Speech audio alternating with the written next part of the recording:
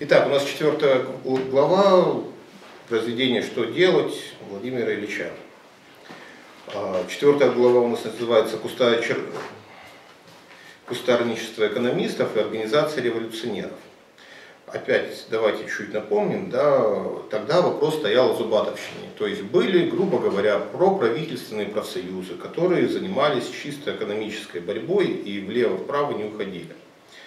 А, параллельно сегодняшний день у нас есть ФНПР, Федерация независимых профсоюзов, в принципе то же самое, где все руководство сидит во главе Единой России. То же самое у нас местный филиал это ФПК, Федерация профсоюзов Приморского края. Тогда была так называемая зубатовщина.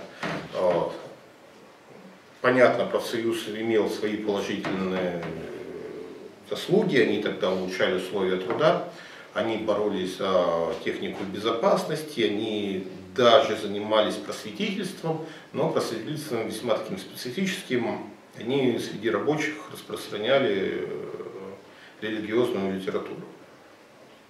К ним тогда же примкнула часть социалистов, которые считали, что вот они там сидят, профсоюзы учатся, учатся и сами до чего-нибудь созреют.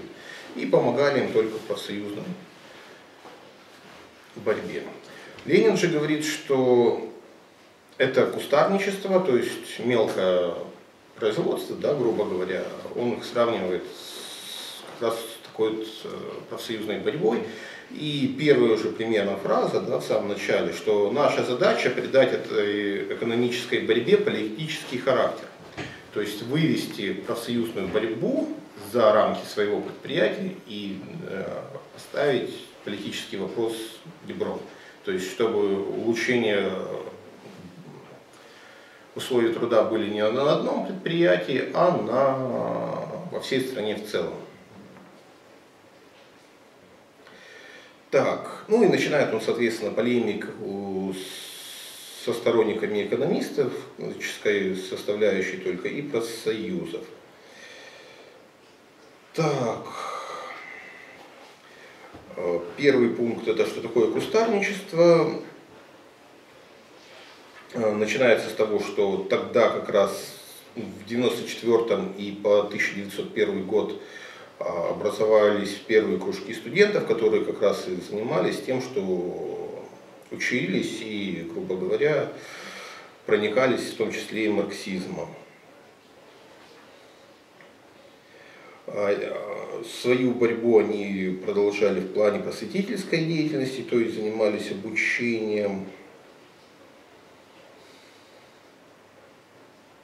и поднимали в том числе революционные вопросы.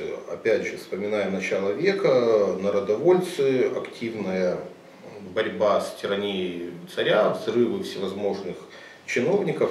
Соответственно, рабочий класс это все дело отпугивали. Да? То есть студент это что такое нехорошее, вольнодумец, скорее всего атеист, и еще вообще еще и в царя бомбу может кинуть. Поэтому это отпугивало рабочее движение от интеллигенции, потому что студенты это все-таки занимали интеллигентное положение. В принципе, что такое кустарничество? Да, это мелкое производство. Соответственно, экономисты – это те, которые всю социалистическую борьбу сводят только к тому, что вот мы как кустари там занимаемся в профсоюзах и дальше никуда не выходим. Помогаем там работать э, профсоюзом с бумажками и все. А Ленин как раз и говорит о том, что этого недостаточно, что это, ну, как капиталист из кустаря должен перерасти сначала в мелкий бизнес, средний бизнес, крупный бизнес, так и партия революционеров должна перерасти от мелкой кустарной вот этой деятельности к высшей и более высокой. Да, он полимеризирует все правильно с газетами, но с, с различными, там, с Плехановым, с Лайц и тому подобное. Опять же, я предлагаю это чуть-чуть опустить. В чем смысл? Плеханов у них же в это время еще расхождения нет. Ну да, да, я говорю, полемизирует. А. И не Плеханов, там, а Богданов. И Богданов. Есть четвертая страница, правда, у меня не совсем страница, ну не важно, да. О чем говорит Ленин, да, что надо как раз расти от кустарей выше и быть организацией революционеров. Что для этого надо? А, нужна, естественно, связь рабочих, нужны и профессиональные Итак, после организации профсоюзов какой рост может быть у партии? Во-первых, нужна профессиональная организация революционеров. Дальше Ленин как раз и рассказывает, что это должно быть и как это должно себя представлять. Да, то есть должны люди, которые, в отличие от этих студентов, которые засвечивались да, везде, э, вести, иметь, иметь навыки конспирации. То есть не отсвечивать, не быть на карандаше у полиции, не это самое.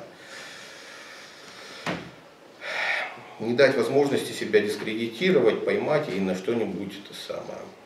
Да, короче, должны быть профессиональные революционеры. Второй вопрос он разбирает, что должна быть пресса, да, то есть какая пресса – а, опять же, у нас есть э, вопрос сложный такой, а что должно печататься на местном уровне в местных газетах, на уровне ячеек местных, и что должно быть э, на всесоюзном, точнее всероссийском уровне печататься в прессе. То есть, соответственно, идет полемика и рассказ, что же нам надо печатать, как надо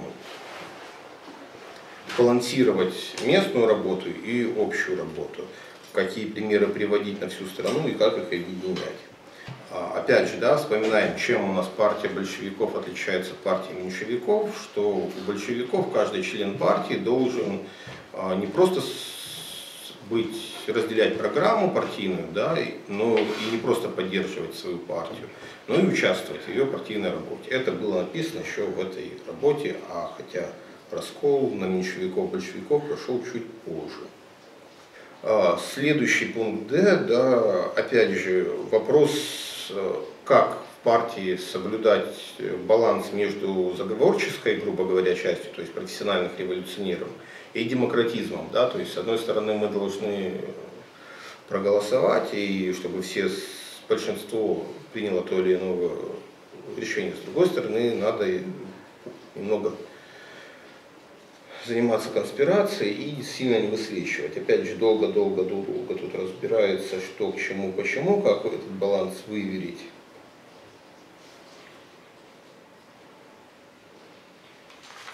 Отдельно, как что должен рабочий делать, отдельно, что должен делать интеллигент. И в итоге вот такая цитата, да, что все социал-демократы, неважно кто рабочий, кто не рабочий, они все должны идти во все классы и слои населения. Да, то есть мы опять же не должны работать только среди рабочей среды, но и вообще на все население. Опять же, это было в прошлой главе немножко затронуто.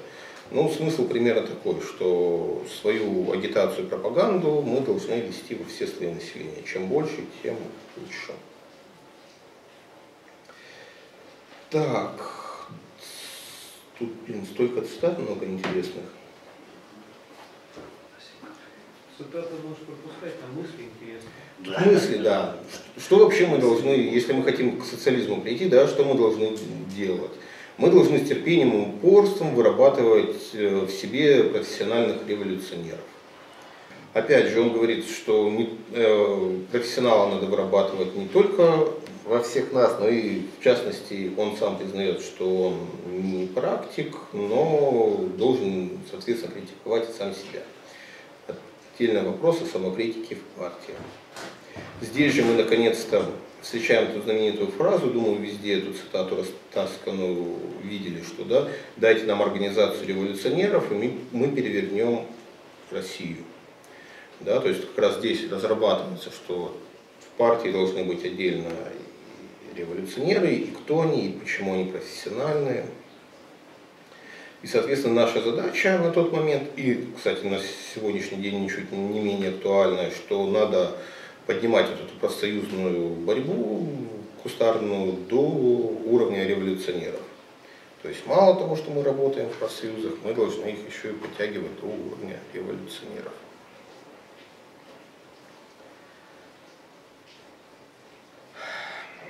Следующий вопрос разбирается по поводу руководителей, да, то есть э, как должна строиться партия. Должен быть у нее ЦК, грубо говоря, да, что у нас сейчас очень популярно. Должно быть там какой-то конкретный руководитель и тому подобные вещи. В принципе, да, что мы сейчас имеем? У нас был Маркс, который написал «Капитал», забрал капитализм. Был Ленин, который написал как раз, что делать, и как этот капитализм довести до социализма. И как раз вот он чуть-чуть касается того вопроса, что же делать с социализмом, чтобы он обратно не перешел в капитализм. Да, опять же, тогда уже были известные примеры, французская революция, когда сначала свергли царя, потом буржуазию свергли, сделали коммуну на 70 там, с чем-то дней, а потом опять в итоге все вернулось к императору Наполеону. Сначала первому, который вроде как революционер, а потом и к Наполеону второму и третьему, которые вообще уже открыто реставрировали монархию, и откат был от социализма не просто к э, буржуазии, а еще и к феодализму. Соответственно, здесь как раз Ленин и разбирает немножко о том, как же должна быть построена верхушка партии, чтобы этого избежать. Но опять же, это весьма поверхностно, так как у Ленина на тот момент не было достаточно практики. Опять же, это еще до революции писалось. 902 год, это был 902 Да, год? да, да. Но уже тогда он озадачился этот вопросом, да. То есть как Маркс озадачился, что же будет, когда все капиталисты разовьются до монополистов, то, соответственно, Ленин уже задумался, что же делать партии, когда она, так сказать, разовьется до уровня государства. Так. Зато у Энгельса этот вопрос хорошо освещен. Ну, хорошо, мне кажется, достаточно. Опять же, маленький вывод он делает, да, что в принципе, почему каждый член партии должен быть профессиональным революционером, что на случай чего он мог бы встать во главе, грубо говоря, партии, заменить э, выбывшего бойца и, опять же, не дать себя дурачить и увести вперед. Вот, на этом, собственно, четвертая глава заканчивается, и дальше опять идет про зубатовщину. Но это, я думаю, разберем на следующий раз.